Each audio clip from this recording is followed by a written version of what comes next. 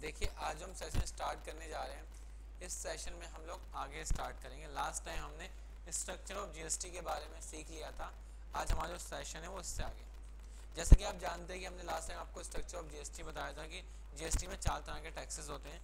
पहला आपका सीएसटी हो, होता है जिसकी फुल फॉर्म होती है central goods and service tax एक हमारा होता है state goods and service tax एक होता है हमारा आईजीएसटी जिसको बोलते हैं हम integrated goods and service tax एक होता है यूनियन टैक्स। इसके बारे में मैंने आपको कई दो सारे एग्जांपल ही बताए थे कि अगर पंजाब की पार्टी पंजाब में माल बेचती तो उसे लोकल स्टेट ट्रांजेक्शन भी बोलते हैं या फिर within state sale purchase भी कहते हैं। और उस केस में आपका सीजीएसटी प्लस एचजीएसटी चार्ज किया जाता है।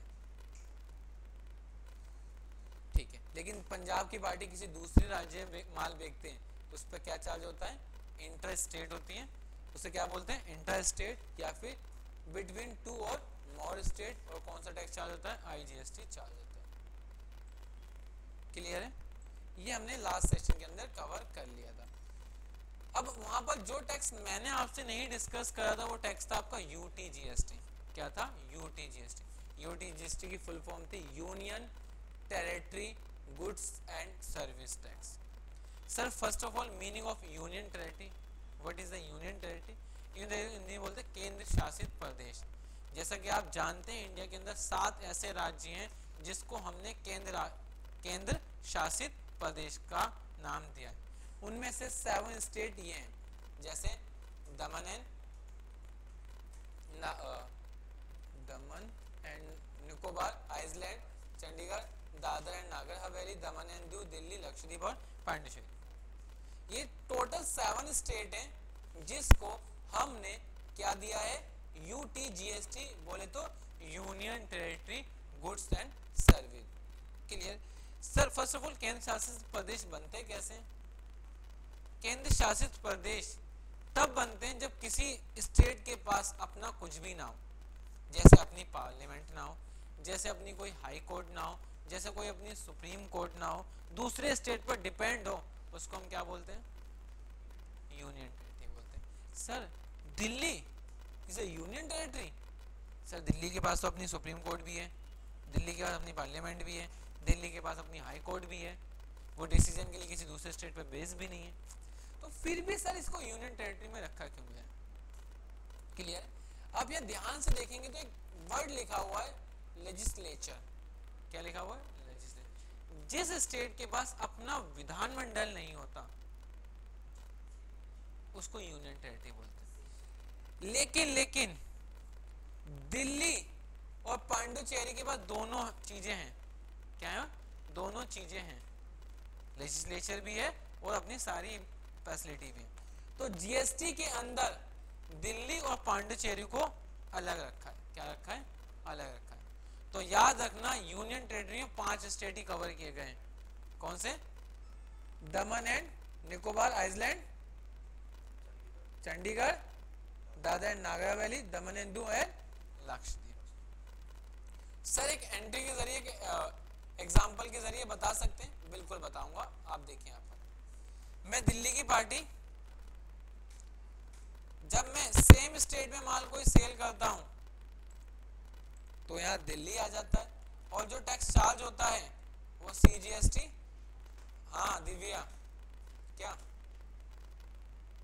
सीजीएसटी प्लस एसजीएसटी क्या चार्ज होता है? सीजीएसटी प्लस एसजीएसटी क्लियर है? लेकिन जब दिल्ली से बाहर में बात करता हूँ यूपी तो क्या चार्ज होता है? आईजीएसटी चार्ज होता है। इसको बोलते हैं other state sale purchase clear है?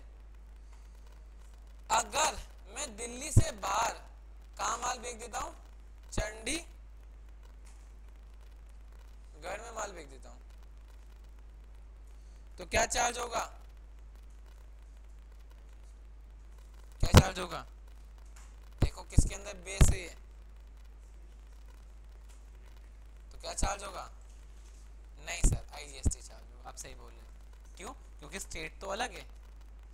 अगर चंडीगढ़ की पार्टी चंडीगढ़ में ही माल बेचे। तो उस समय CGST plus UT GST charge होता है। क्या चार्ज होता है? यूटी जीएसटी चार्ज होता है। चंडीगढ़ की पार्टी का पंजाब माल बेचती तो आईजीएसटी चार्ज होता है। क्लियर चंडीगढ़ की पार्टी अगर किसी दूसरे राज्य माल बेच दे तो आईजीएसटी सेम स्टेट में तो सीजीएसटी प्लस यूटी क्योंकि वो स्टेट नहीं है। स्टेट होता है तो एस लगाता है। जब स्टेट ही नहीं तो क्या लगाएगा? यूटी लगाएगा। क्लियर है? अगर दिल्ली का एग्ज़ाम्पल लिया, था तो मैंने यहाँ दिल्ली में सीजीएसटी प्लस एचजीएसटी लगाया था। क्या लगाया था? अगर यही एग्ज़ाम्पल समझो, दिल्ली की पार्टी दिल्ली माल बेचती है तो क्या लगाती है? सीजीएसटी प्लस एचजीएसटी क्योंकि यूनियन टेरिटरी है नहीं। और जो यूनियन टेरिटरी होंगे वो स्टेट को हटा के क्या कर देंगे? यूटी जीएसटी बस। इसलिए लोग इसको सीजीएसटी प्लस यूटी जीएसटी भी बोलते हैं। ऐसे बोलते हैं। क्लियर है? बाकी रेशो वही है फिफ्टी फिफ्टी की पता है ना? अगर आईजीएसटी है तो वो पूरे हंड्रेड परसेंट लगता है। सीजीएसटी और आईजीएसटी कितने परसेंट चार्ज होता है? फिफ्टी फिफ्टी चार्ज होता है।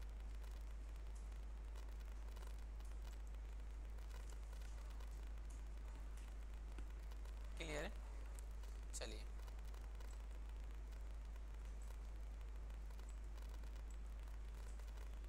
चले।